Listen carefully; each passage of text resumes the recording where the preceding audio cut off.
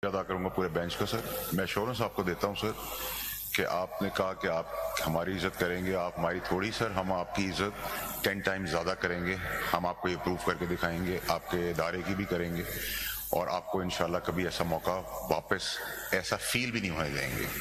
दूसरी सर मेरी रिक्वेस्ट आपसे ये थी कि सर बीइंग ग्रेशियस आपका पूरा बेंच साहब मेहताब के सर आपने हमें और भी डायरेक्शन दी इंस्पायर किया। शायद हमारी ज़िंदगी में वो सब काम आएगा। एक गुजारिश सर मेरी आपसे थी आपने वो बहुत अच्छी बात बताई कि मैं हमें उस लेवल पे नहीं जाना चाहिए जिसके हमने आपको हवाला दिया।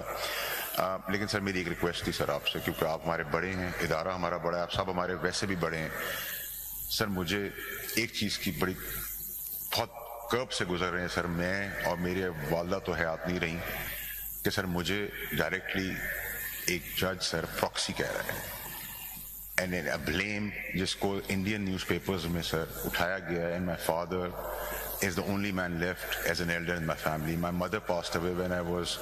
Uh, जरा मैं आपको यहाँ रोक लूँ अगर आप शायद अगर आप ना बात कहते तो वो वहाँ तक बात पहुँचती नहीं अब मैं किसी और के लिए तो कुछ कह नहीं सकता ठीक सर। हूँ मैं अपनी ज़ात के लिए रिस्पॉन्सिबल हूँ।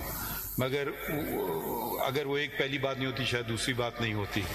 तो हम आपकी इज़्ज़त और इस इदारे का एहतराम जैसे आपने नहीं, तवक्को की उससे ज़्यादा करेंगे मुझे जातियात पे कोई इशू नहीं है। मगर जब जातियात जब इदारे से मुंसलिक हो जाती है ना अब आप आज सेनेटर हैं कल नहीं होंगे। या आप एम शायद कल ना हो।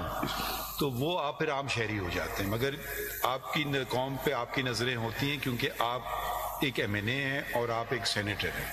कौम की नज़रें मुझ पर हो जाती हैं क्योंकि मैं चीफ जस्टिस हूँ, मेरे साथी जज जज हैं। तो ये ज़रा फ़र्क हो जाता है। अब हमें ए, ए, हर बात को ब- अच्छा हमें भी नहीं लगता है नोटिस लें क्योंकि हम फ्रीडम ऑफ़ स्पीच और एक्सप्रेशन में भी करते हैं मगर कुछ मेरे ख्याल में कुछ बातें कुछ ज़्यादा ही हो जाती हैं फिर अब करना पड़ गया।